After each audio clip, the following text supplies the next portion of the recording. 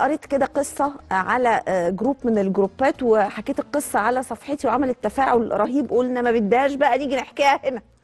آه، يعني واحدة باختصار شديد بتحكي إنه هي اتطلقت وكان عندها ولد وبنت في رقبتها فالولد والبنت آه، آه، مش عارفة تصرف عليهم وطبعا جوزها بيطلق وبيرمي ومخلف قطط في الشارع.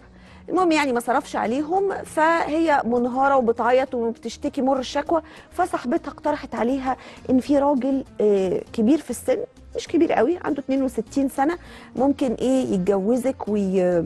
ويصرف عليكي ويشيل الليلة كلها بالعيال بكده. قالت تضحي بقى وتروح بما إنها مش لاقية تصرف على عيالها ولا على نفسها طيب هتروح تبص على الراجل ده وتشوف. بتبص عليه لقيته ما شاء الله بصحته شكله حاجة و40 سنة مش حاجة و60 سنة ولا حاجة. إيه وشيك ولارج وبتاع وقال لها اديكي مهر 100000 جنيه وهجيب لك ذهب وخلي عيالك يسيبوا المدرسة اللي هم فيها المدرسة الحكومة هنقلهم لك مدارس لغات.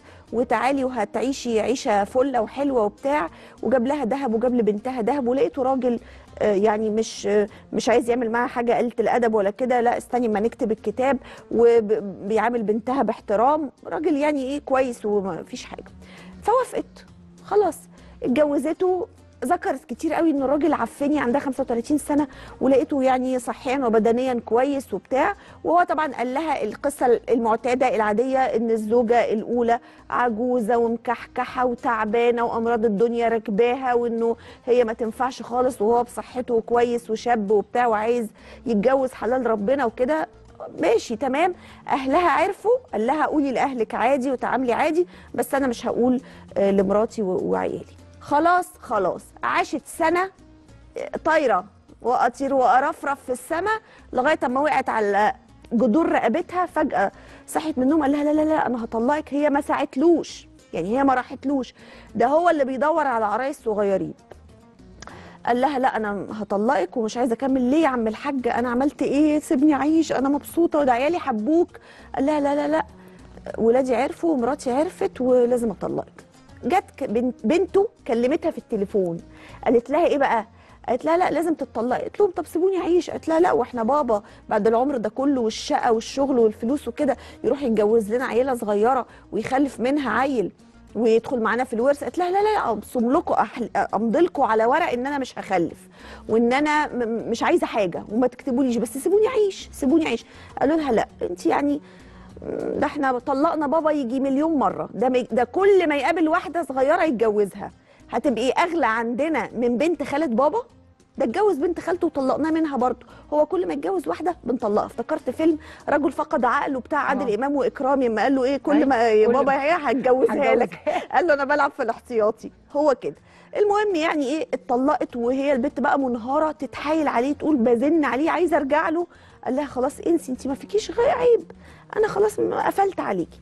فالفكرة الفكرة بقى من كل ده طبعا آه، آه، البنات بس بتتغر والفلوس بتزغلل العين بس فلوس هي فين؟ يعني طبعا فجأة العيال خرجتهم من المدرسة ال ألف جنيه اللي هو اداها لها مهر دي ما عرفتش. تجيب بيها ربع شقة ما عرفتش تجيب حاجة راحت قعدت في حتة شعبية. المهم يعني إيه؟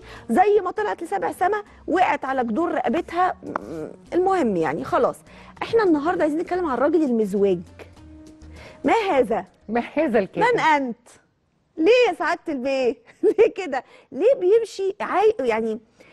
يعني قالت لك اتجوز مليون مرة باعتراف ولاده. مم. وفكرة إنه يقهر الستات الصغيرين اللي هو بيتجوزهم هو طبعا بيخش عليهم. وبرده أنا بكرر هي دي مش خربت بيوت هي كانت قاعدة في بيتها. هو ده لدرجة إنه بعت لها صاحبتها. هو اللي اصطادها. وادى لصاحبتها 40 ألف جنيه كادو هدية على سبيل إنها أقنعتها. فالراجل يعني أي أسرة أو كده بابا هو السبب حبايبي مش أي حد بيروح يخطفه هو اللي عايز يتخطف. فيعني إيه الراجل المزواج؟ أنا عايزة أفهم ده بصي إيه ده؟ هو الراجل المزواج ده ممكن بيبقى فيه نوع أنواع نوع من أنواع الاضطرابات النفسية. خلينا نسهل على الناس ونقول لهم نصاب الكاريزما. إيه نصاب الكاريزما ده؟ أنا بشوفك خلاص أنا عايزك دي لعبة وأنا شبطان فيها. هدفع فيها أي تمن وأخدها وبعد ما أخدها وأفرح بيها شوية أرميها خلاص مش عايزها. تمام؟ هو بيدخل عليها بإيه؟ بإنه راجل شيك وشكله حلو وصحته حلوة و... وعارف احتياجاتك كويس قوي. عارف إن أنت واقعة من الطياره فمحتاجة فلوس ومحتاجة تقعدي في حتة كويسة وي وي هديكي كل ده.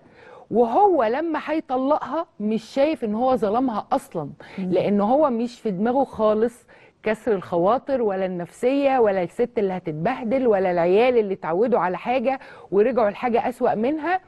هو في دماغه أنا اديتها تمن ده وعاشت معايا سنة محترمة وخلاص أشوف اللي بعدها. تمام؟ أساسا ده دعاء ما بيستكفاش يعني هو نفسيا في حاجة ناقصاه في حاجة دايما عايزها دايما شبطان.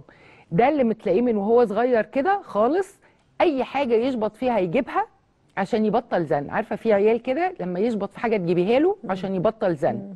وعياله عارفين. مع عياله عارفين ومتعودين وهم بيدوا له الفرصة بتاعته سنة. طب ما من الأول خالص أنتوا عارفين طبع بابا. خلاص نمنعه بقى. نمنعه ما, بس هو واضح إن هو يعني الموضوع هو مش مش بيقف. يعني الموضوع يعني واحدة طلق طلقها هياخد التانية. ما هو وولادي مش هيوافقوا. طبعا. هاخد التالتة. هو الموضوع- وولادي مش هطلقها. واخد الرابعة. أنا- واخد الخامسة. اتلاقي مليون مرة. ده لو لقى قطة في الشارع هيتجوزها أيوه لأن هم. عارفين إن أبوهم عنده اضطراب شخصي معين. آه. اضطراب نفسي معين. إحنا في بداية الخلق يا جماعة ربنا خلق حواء لآدم علشان تؤنسه في وحشته. حواء واحدة. واحدة. ما هو ربنا كان قادر يخلق له أربعة. طيب حتى التعدد يا دعاء ليه أسباب وليه شروط؟ مش عمال على بطال. طيب هي غلطت في إيه؟